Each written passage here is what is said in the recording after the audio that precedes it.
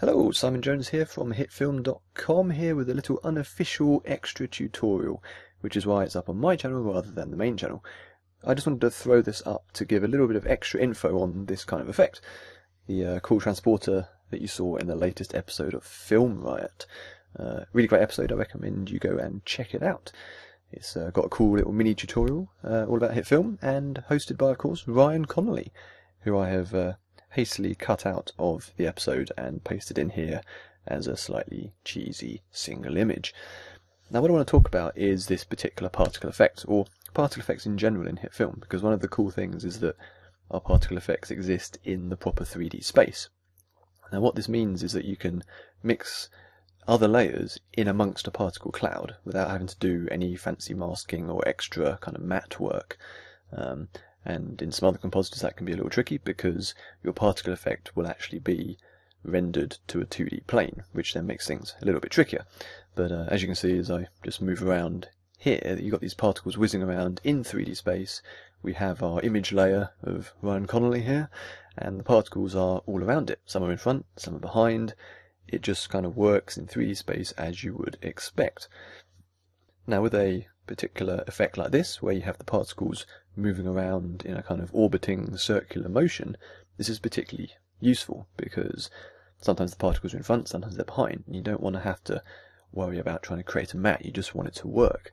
The thing about HitFilm is that it kind of exists and works like you would expect this kind of thing to work if you were somehow actually filming it in real life. If we just switch back to the active camera, you can kind of see what's happening. So if you try and follow an individual particle with your eye, like this one for example, you can see that as it moves around, it's in front, and then as it goes around behind his head, it will disappear behind. And that's the case with all of these particles. Nice and easy, I haven't done anything special to set that up. All I've done is physically put the Ryan Connolly image layer in the middle of all the particles. If we switch to this uh, alternate view of the particle effect, this is a much simplified version with fewer particles and they're nice and chunky. Uh, just makes it a little bit easier to see what's going on. So you can see they're going behind, they're staying in front, and uh, the 3D space just kind of does what you expect it to do. But the problem, of course, is that these particles don't look like how we actually want our particles to look. We want them to be glowing and have more of a kind of transporter beam kind of effect. And this is where things get a little bit tricky, because traditionally to grade a particle effect like this, what you'd probably do is you would take it and convert it into its own composite shot, which you would then embed into the main shot. Um, but as soon as you do that, you lose the 3D element. Um, so if we just uh, actually go through and do this, we'll turn this into a comp by clicking the Make Composite Shot button. There we go. You can see we now have our particle effect isolated here, which means we can now grade it however we want. So I'll stick a grade layer on and let's just slap on a glow. Just going to do this really roughly just to uh, give the general impression of how it works. So uh, I'll just drop the threshold down, bump up the intensity, and then just change the color a bit. So that looks you know, kind of like what we're going for. Uh, looks cool. But if we go back here, you can see that the comp has now become a 2D layer. So we're now back to the problem that you'd have in other programs, which is that our particles are just sitting on top of Ryan. Um, you've lost that kind of 3D interaction. And, you know, you can move this layer below Ryan, but then they'd all be behind Ryan. So how do you get it to look like it's properly interacting in 3D? Um, well, that's where there's a little trick you can do, which is rather handy. Uh, yeah, you can see here there's no particles in 3D space anymore. It's essentially as if you've rendered them out to a separate element.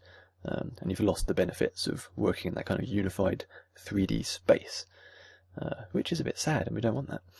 Um, so let's take a look at how you can create a custom matte to take care of this. Uh, I'm just going to switch around, and uh, here we have a different version. This is a slightly fancier version, and if you look closely, um, we can actually see that where Ryan appears, you get this kind of shadowy shape. It's kind of hard to see, but if you look closely in the middle of the particle cloud, you can see there's this kind of dark outline. This actually represents where your layer is going to be. Um, you can see if we toggle it off, they're the actual particles that are behind it, and then they're occluded by this shape. And this shape is actually the Ryan layer, creating a kind of procedural automatic mask. And the way it's done is you simply have the Ryan layer like this. And you can see they're all properly in 3D like we had before. Um, but what we do is we do a very, very simple bit of grading. Uh, so yeah, here we go. You can see fully 3D, as we were before. This is a duplicate comp, so it's a separate comp where we're doing this. And then you can use the simple color correction wheels, uh, and we'll just drop down the exposure all the way down, turn that on, and it means that it goes completely black. So it looks like it's disappeared, but it is actually still there. It's just totally black, uh, acting as a kind of black matte against the particles. So then we can grade the particles like that. But the ones that are supposed to be going behind Ryan, or your actor if you do this properly, are disappearing behind it.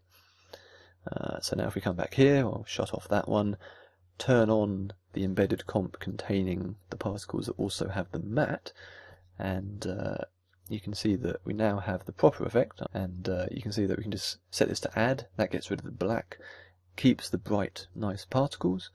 And uh, as we go through you can see that when the layer appears the particles properly disappear behind it still.